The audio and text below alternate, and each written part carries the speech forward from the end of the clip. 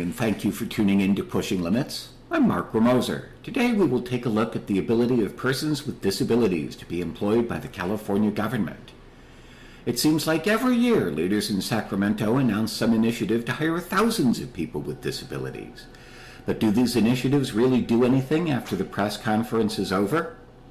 Jacob Lesner Buxton talked to two advocates who have experience advocating for greater access to state employment for others with disabilities. He also talked to someone with a disability about her personal experience trying to get a state job. You'll hear Jacob throughout the program talking to our guests. We begin with Aaron Carruthers, Director of the State Council on Developmental Disabilities. The State Council on Developmental Disabilities exists to be a guiding force for positive life altering changes for people with developmental disabilities. We are created in Congress uh, over 50 years ago. There's a council like ours in every state and territory, and we form a sister network that's looking for barriers that keep people with developmental disabilities from living fully integrated lives in the community. We do this through training people to be their own advocates and also joining side by side in that advocacy to change policies, change laws, do whatever we can to change systems to make them work for people who are being shut out by them. The state council does its work by asking the community, the people we serve, what do you want us working on? Uh, we do that every five years and we come up with a five year plan. And what I think is really fascinating is that looking at the trends and answers over the last five years or so, there's a change. There's a significant change. 10 years ago, when we asked the question, What do you want us working on? The number one answer people said was largely make sure I don't lose my benefits. I want to keep my benefits, whether they were through the regional center, Department of Rehabilitation, whatever they're receiving in schools, just help me keep my benefits. And that was 2011. Five years later, 2016, we asked the question again the number one answer was employment.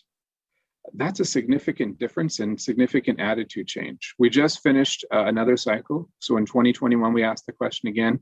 The number one answers were employment, housing, and safety. The priority of keeping benefits dropped. And I think that reflects a attitudinal change. Some call it the integration generation. People who went to school, K through 12, in classrooms with people with disabilities have now come into their 20s and they're becoming parents themselves and they're becoming parents of children with disabilities and their views on what's possible for their family member and the views for people of people with developmental disabilities about what's possible for themselves has changed in such a significant way that we've changed our work the state has to change the work and soon the employment sector will catch up with what we need, what we want. The most recent data we have on what is the reality of employment for people with disabilities and developmental disabilities comes from the American Community Survey. So in 2019, it's all pre pandemic. We don't know the impact of the pandemic on employment. But before the pandemic, we had been experiencing a decade of economic growth from the last recession, a decade of people getting jobs, a decade of economic stability. The employment rate for working age people overall was 78.6%. I know we typically talk an unemployment rate, but for this purposes, we're talking about employment rate. But for people with disabilities, it was 38.9%. It was about half. Those numbers didn't change. Through the pandemic, we just saw a steady, almost flat line for employment of people with disabilities the numbers for people with developmental disabilities are even worse. So in 2017, the most recent uh, year that the Depart- California's Department of Developmental Services has released data, 14.5% of, of regional center consumers were considered employed. Keep in mind, out of that 14.5%, that also includes people who were in sheltered workshops making as little as $2 an hour. Aaron goes on to explain the goals the state says regarding the number of employees in their ranks and if they're achieving those measures. So, state law states that there's, I describe it as a goal rather than a quota. Um, in my mind, quota means a mandate. You have to fill it. This, I believe, is a goal, and state departments are measured against it. The state law has a number. The number is 16.6%. Their workforce should include 16.6% of people with disabilities. Disabilities is a pretty broad definition. Let me let me read you all the categories so you know who we're talking about. Um, it's people who are deaf or have uh, serious hearing difficulty, uh, and people who are blind or serious difficulty seeing, even when wearing glasses, uh, have difficulty reading or driving without corrective lenses or, or have a limited field of vision, uh, have serious difficulty concentrating, remembering, or making decisions because of a physical, mental, or emotional condition, have serious difficulty walking or climbing stairs, uh, have, ser- have difficulty dressing or bathing, have difficulty doing errands alone, uh, such as going to a doctor's office or shopping because of a physical, mental, or emotional condition, or have one or more physical or mental impairments or medical conditions that limit a major life activity, um, even if that's you know episodic, if it's in remission. Departments send out this survey. Employees answer it anonymously. They self-select answers. And from that survey, the California Department of HR produces a report stating how many employees a department has, how many people self reported that they're a person with a disability based on those criteria. What percentage then does that come out to? And are they meeting their 16.6%? Curious, Jacob, do you have any, would you have, can you take any guesses out of all the departments in California? Who would you, which department would you guess has the highest ranking? DDS. I will tell you, the Department of Developmental Services is ranked near the last. Um, Interesting. They, um, I would guess the Department of Aging. Department, well, let me tell you about the Department of Developmental Services. Um, as of the most recent report that I'm reading, and this is from this year, the last quarter, the Department of Developmental Services has 2,017 employees and they have 93 employees with disabilities, giving them a 7.5% rate. So out of the 16.6 expectation, they're at 17.5%. You asked about the Department of Aging. Department of Aging is, is closer to the top. So where DDS is in proportion to the bottom, Department of Aging is in proportion to the top. Aging has 168 employees. Uh, 27 employees self identify as people with disabilities, giving them a percent of 16.1% out of the 16.6 expected percent. Who's the top? Who's the top? Yeah. Department of Rehabilitation. Okay, I knew it. yeah. So if you look at the top 10, Department of Rehabilitation is number one, and I'm proud that State Council on Developmental Disabilities is also in the top 10.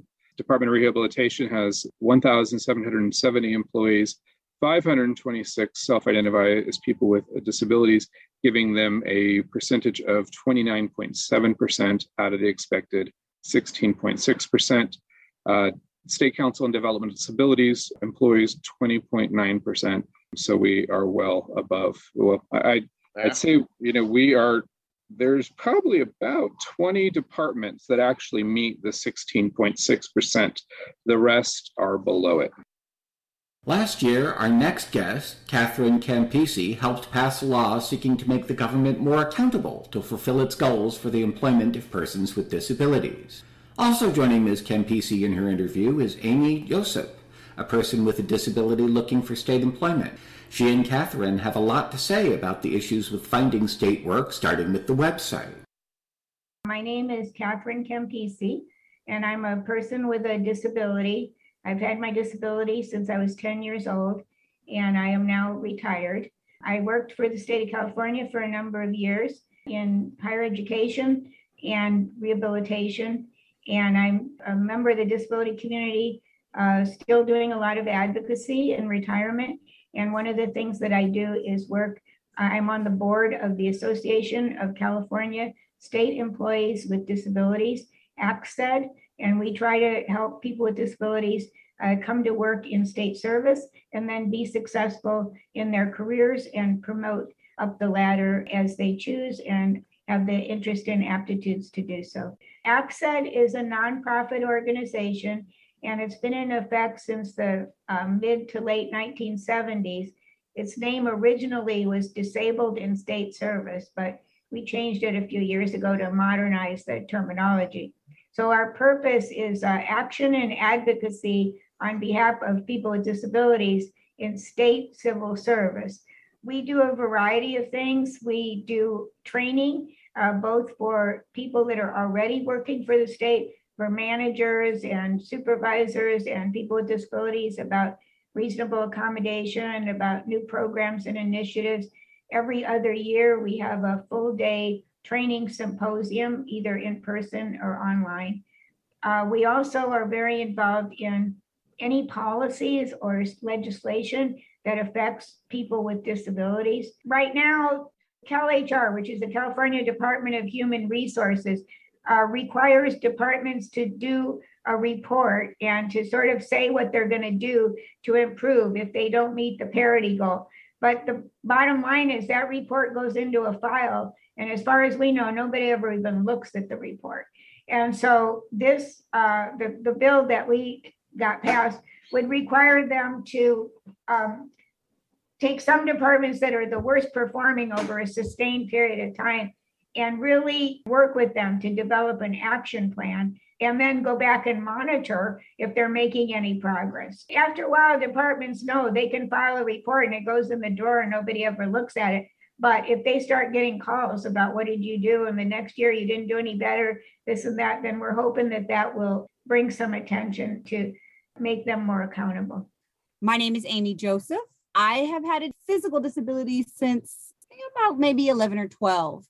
And I also have a learning disability, but has never really truly been diagnosed. I had different classes, I got accommodations in college. So we'll leave it at that. I'm currently working in the animal care field. Um, I'm also currently looking for a new job that does not wear out my body so much. So I've applied to many different positions. One that I Uh, recently applied to, and I mean, probably about a month ago, was for a governmental analyst. Unfortunately, with this website, I don't expect to hear anything anytime soon. I feel like the jobs that are offered on calcareers.gov basically are things that you're hoping to come through at some point. Someone will contact you and say, Oh, by the way, that application you put in five months ago, we're actually hiring for that position now. I had a conversation again with, with, with Catherine, and we were talking about, you know, looking at places that are hiring. And I think for me personally, that's great that I have a community of people that I can reach out to and say, hey, which departments are hiring? But for the average person, they don't know. And you're just kind of looking at this is in my area, or this is the price range that I need to live the life that I want, or this is a desk job, or this is a physical job, you know, and you just, you kind of apply for what you think you like. A lot of times, now this is my opinion, I feel like they're just gathering a pool of applicants. And I've actually seen that paraphrase, I'm paraphrasing in my email that says, we open this job up again because we needed a larger pool of applicants for this job. And then I hear nothing about that afterwards. Earlier this year, I did have one amazing interview with the water board in San Francisco. I'm not sure, probably that's probably not true. But I didn't find it on the state website. I found it through some other weird connection and they found my application, actually talked to me on the phone, and then actually interviewed me over the Zoom. And then it was crickets. And so I did the thing that I had been taught to do, which was to contact them and say, Hey, what's going on? And the guy was like, Oh, yeah, yeah, this, the process is on hold. And then he called me back the next day and said the job wasn't available. One piece of good news is that the governor has a, an initiative called California Leads, and they just put a whole bunch of money into an effort that they're going to be undertaking to revise the whole process. The website, they know the website is hard to use, and they're going to uh, do a strategic plan. Hopefully, it's really meaningful. Uh, and ACSED we're trying to put our nose in there and you know tell them we want to be involved and all this stuff. And are they going to have a transparent process and you know on and on and they say yes but with, that's yet to be seen but they, they know that they need to really revise the whole process because it's so confusing i try to use the web page and you know i worked for the state for like 18 years and i look at it and i can I navigate it with difficulty, I have to say. That said, we sent them some comments about what we thought was wrong with it, especially around people with disabilities finding, you know, programming and stuff. They corrected a couple things, but it needs a whole redo, and they know that. Um, and luckily, this California leads, you know, while there is money, they're going to undertake some of that.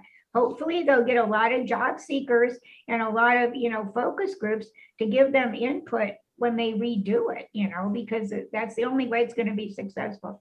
The thing, you know, that I always advise people are kind of what one piece of good news is that um, it's hard to prove. Employment discrimination is so hard to prove. But I think, um, you know, first, there are many aspects of it. I think, you know, when people are lucky enough that they do get an interview and you've got an apparent disability, uh, right there, you're, you know, you're going uphill because they're looking at you and they're thinking all kinds of things about how much is it going to cost to accommodate the person? Can they really do the job? You know, they maybe want to ask a million questions, but they know they can't. And, yeah. uh, you know, we, that's why we try to do this recent training we did was for managers on sort of, uh, you know, that uh, advantages of hiring people with disabilities. But you know, there's that level of discrimination if you get that far. And then there's also discrimination, I think, in that a lot of people with disabilities haven't had as much work experience as other people. So if they start looking at people, you know, they pick for the interviews the people with the most work experience, well, they're going to naturally discriminate against people with disabilities because you know, it's a circular problem. We haven't been given a chance to get the work experience, you know. So, as I say, going back many decades when I had volunteer experience as an intern, if somebody, you know, looked at somebody else that had five years paid experience, they're going to pull their experience, their application rather than mine, you know. So, so it's, um, you know, it, there's that level of discrimination too. Um, you know, we tell people don't don't disclose you know unless you once you get to the interview if you have an apparent disability they're going to see it but but don't disclose. There is the leap which is called limited examination appointment program which offers like an alternate exam. Uh, the way the state service process looks works is you have to take an exam. Oftentimes those are online now. Uh, but the leap exam is uh, more sort of what your experience is in various areas. And it's, it's a little, it's easier to pass. And then if you pass the LEAP exam, um, you automatically put in the, you people get rated into ranks and they only interview the top three ranks. But if you use the LEAP program and you pass a LEAP exam, then you do get put into uh, rank one. So that does increase your chances of getting interviewed. But, you know, once again, say it's a staff services analyst, which is an opening job, there could be a thousand applicants. So, you know, again, you're in a big, big pool.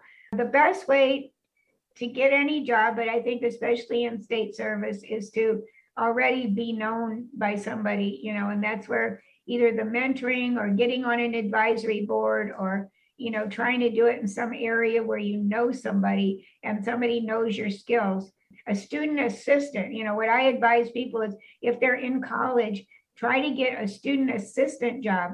So I wholeheartedly agree with everything that Catherine has said. And I'm going to add my little conspiracy theory that we have let the machines win. So not only do you have to have, you know, keywords and buzzwords in your statement to get picked, not only do you have to have more years of experience than the next person to even get chosen for an interview or phone call or an email or whatever it is. And for anyone that's listening to this, the exam that she's talking about is not a test. It is an assessment right. of the amount of skills you have per year that you have done it. So, for example, if you've been a cashier for five years, that is a part of the exam. That's what they're asking you. How long have you done cashier work? How long have you handled money? And the person that's handled money longer gets a higher score. Mm-hmm. That's what it is. They that's one thing they need to rename. It is not an exam. That already, as a person yeah. who had who has knows nothing about this, I'm coming to the thing and says, "Oh, open exams," either scares you away or hopefully makes you curious and you click on it and you read. Right? Now back to Aaron, who explains California's LEAP certification program that is designed to let people with disabilities bypass state exams to be hired. LEAP is a program that is created by the state of California to provide an alternative path for employees with disabilities. So LEAP, L-E-A-P, is an acronym. It stands for the Limited Examination and Appointment Program that is state speak if I've ever heard it. Um, so yeah. uh, let me break it down for you. Getting a job with the, the state of California, it's a civil service program. Individuals take an exam. That exam can be varied based on what the position is. It, the exam could just be based on your past experience, it could be based on your technical knowledge, but you take an exam, and the exam puts you on a list. Once you're on the list, you find out whether or not you're what's called reachable. If you are reachable, then you start applying for jobs. Then you go through a typical job application interview process. But it's that first step of taking the exam and becoming reachable that the LEAP program helps with. What it does is it provides an alternate to that process of taking the exam by giving people experience. So, people with disabilities can be qualified through the Department of Rehabilitation as being a person who's eligible for LEAP. And when they apply for job openings, they are considered to be reachable. So they would go through the typical applying and hiring process. Once they are hired, they serve for largely a probation period. Once that probation period is over, they are in the job. It helps because you do get to have an alternate pathway into that full time, permanent civil service working for the state job. Any option, any creativity that we as humans can come up with and the state will adopt, I think the better. So I think that it exists is, is a good thing. They're trying to build on it and make it even more successful. So, for example, if you are a regional center consumer, there is a specific internship that will give you work experience to then become LEAP eligible. So it's almost a, a, pipeline. If you're a regional center consumer, you can get the specific internship for state civil service. Once you're done with it, you become eligible and then you're on the LEAP list. And then from there, you can apply for jobs. So uh, they're working on building those connections, those linkages, those pathways, which just taking my local regional center TCRC had 29 people in internships two years ago and none of them got a job offer after the year. Uh, Jacob, I, I am sad to say that my direct experience with the program is the same. Did you hear what just happened right then? Jacob said that 29 people were in a year of internship in the LEAP program and not one of them got a job at the end. And Aaron Carruthers, who likes this program very much, said his experience was the same. This doesn't sound good. How can someone with a disability get one of these well-paid jobs? Here's Amy Joseph again talking about other barriers for those of us who want a job with the state of California there are so many profile platforms like LinkedIn, sorry, LinkedIn, um, where the discrimination starts with just your picture. Whether we're talking about race or we're talking about that I can see your your wheelchair in your photo, mm-hmm. or you purposely put your walking cane in your photo. You took a little like way stand way back kind of picture on purpose. Mm-hmm. Also, the discrimination starts there because you're you're kind of forced into like on Indeed and LinkedIn, you know, post all of your experience. So anybody at any time that has access on the other side, on the employer side, that wants to look you up and see if you're just tailoring mm-hmm. your resume to their job description, they can look you up mm-hmm. and they can discriminate you right then and there. In a job fair, that was uh, in the Sacramento area for underrepresented groups. And it, a legislator was sponsoring it and they got so frustrated because a lot of the departments that were participating, it was clear that most of the people they were going to hire were people already in, in another state department that were doing the job, maybe at the slight level below, but it was like almost a closed system. You know, they're like, well, for us, it's a it's a automatic uh, more likely success if we know somebody's already doing the almost the job in state government and we're like but you're never going to bring anybody in from outside if you do that you know and so yeah. it was very frustrating they presume that the person because the person's already been in state government and maybe doing the job you know at a slightly lower level but a similar job that they have a higher chance that that person's going to be a good performing employee than somebody coming in from the outside. That that's how it plays out. Although we didn't address the topic in the program, it's important to consider that not everyone with a disability can work. California can launch hundreds of employment initiatives and still not reach everyone. Creating a society where all people have access to food and shelter, whether or not they can work, should be a priority for the state. Speaking of priorities, I'm Adrienne, and I have one for you this weekend. The 10th annual Bay Area International Deaf Dance Festival is coming to San Francisco over the next three days. It's produced by Antoine Hunter's Urban Jazz Dance Company, California's only black deaf led professional dance company. Deaf artists are flying in from Colombia, Canada, India, and all over the U.S. The festival has four major performances and workshops in jazz, hip hop, ballet, and ASL dance. And they're all taught by local deaf, hard of hearing, and hearing artists who sign fluently. There's a great depth and variety in their accessibility options, too. Sadly, the main performance space at Dance Mission Theater has had a delay in the installation of its elevator. So if you need that kind of access, you can find it only at the Sunday performance at the Mission Cultural Center for Latino Arts. To find out more about the COVID precautions and everything else about this exciting, amazing, wonderful festival, go to realurbanjazzdance.com. realurbanjazzdance.com. By the way, the East Bay's Axis Dance Company one of the nation's most acclaimed ensembles of disabled and non disabled performers, has an evening of world premiere pieces called Adelante, coming up on the weekend of September 17th at the ODC Theater in San Francisco. Today is the last day for early bird $20 tickets. Their website is axisdance.org. Axis, A X I S, A X I S axisdance.org. Use the code AXISEarlyBird. You can find these links and more at our website, pushinglimitsradio.org. Back to you, Mark. Thank you for tuning in to Pushing Limits. thank you to our engineer on duty. Thank to Jacob Lesner Buxton for researching and recording the show. I am Mark Ramoser for the entire Pushing Limits crew.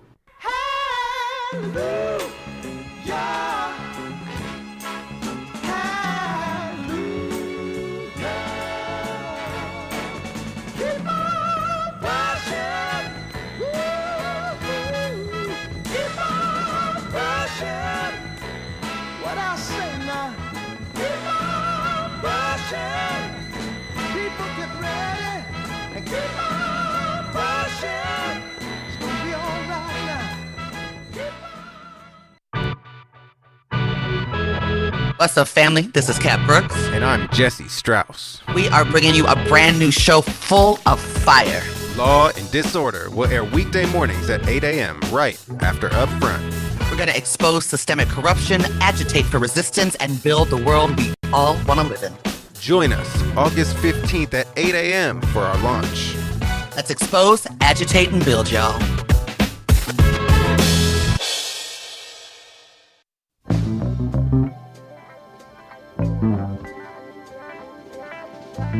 You're listening to 94.1 KPFA, 89.3 KPFB in Berkeley, KFCF 88.1 FM in Fresno, 97.5 K248BR in Santa Cruz, and online worldwide, worldwide, worldwide at kpfa.org.